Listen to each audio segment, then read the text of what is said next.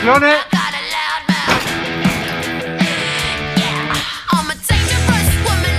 faccio sempre un, un po' fatica a parlare del personaggio perché l'ho sempre vista un po' come un musicista che deve parlare della musica che suona no?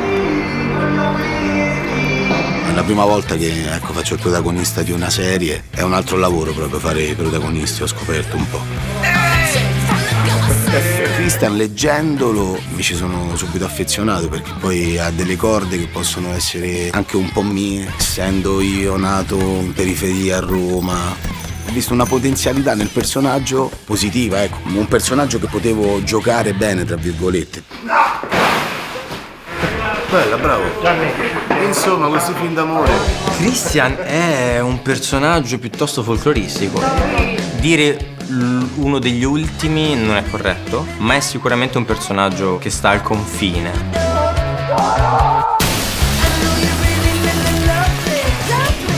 È permesso?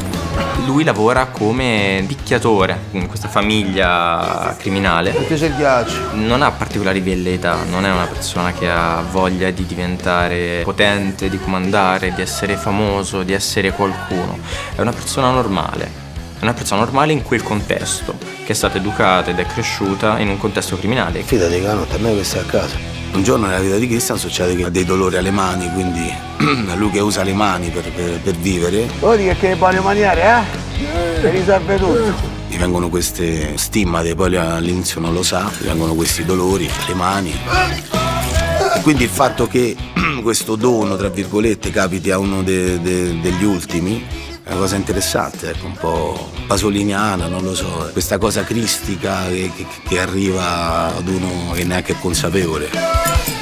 Christian infatti si troverà nell'arco della sua storia a iniziare a fare miracoli e giorno dopo giorno, miracolo dopo miracolo, a perdere un po' quello che era il suo essere uno qualunque e a diventare una persona molto speciale.